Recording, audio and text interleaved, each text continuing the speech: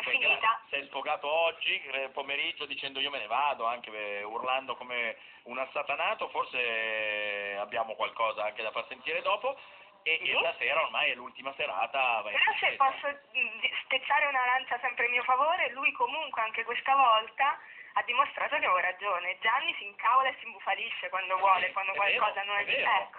Cioè, Non devo mi dire che le hai azzeccate abbastanza tutte, eh, se non Quasi fosse, tutte, Se non sì. fosse, perché quasi, ne... cosa hai sbagliato? Cosa hai sbagliato? No, che stasera ho superato l'aspettativa. Stasera?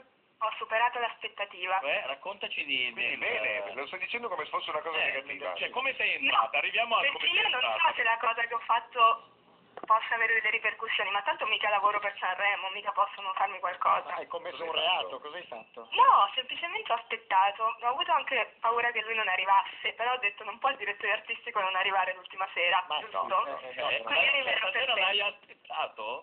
sì, Vabbè, però. Ma quando è arrivato battevi il piedino nervosamente guardando l'orologio, cioè gli hai fatto No, anche il no, perché è arrivato abbastanza pre- no, perché è arrivato abbastanza presto, ho detto magari arriva all'ultimo secondo e sono riuscita a rimanere di avanti, non c'era neanche questo delirio quando è arrivato.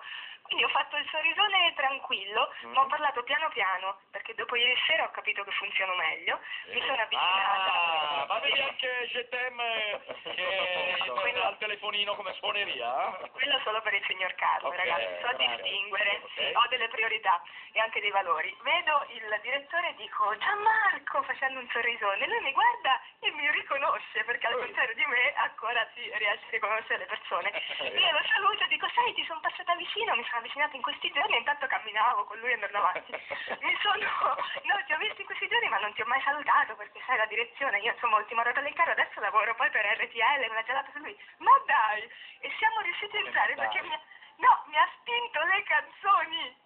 Cioè? Cioè? Eh, no, dai, Ma manda, perché- manda i pezzi? Cioè, ha detto, no, ha detto, ah, MRTL manda le canzoni, le manda molto, sono molto contento, ti giuro, sono molto contento, però eh, potrei mandarle anche un po' di più. Io faccia di Eh. tolla totale, ho detto, guarda, Certo, credo che in questi io. giorni, no, no, ho detto, credo che in questi giorni su RTL di canzoni italiane, e non è vero, vadano solo quelle del Festival di Sanremo, le altre sono state proprio segate. No, no, bene, bene, sono contento, comunque mi Nel raccomando, frattempo eri in passate... salotto in prima fila. no, felice. Quindi con questo scamotage sei riuscita a entrare anche questa sera senza un Nessuno mi passo ha detto niente perché...